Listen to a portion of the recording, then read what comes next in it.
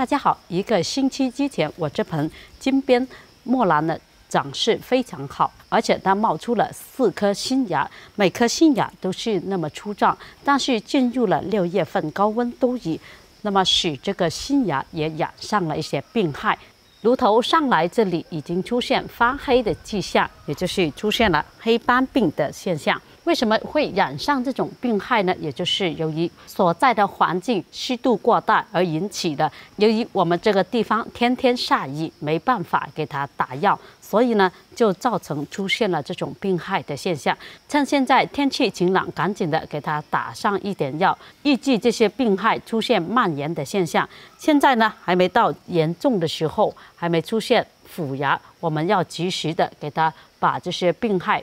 给控制。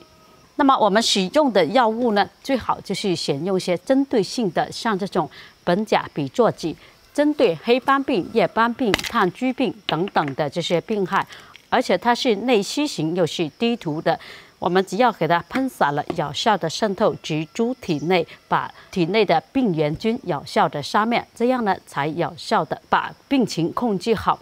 每次使用只需要一粒兑上五百毫升的清水即可。直接把这些药粉给它撒进去。我们先把这些严重的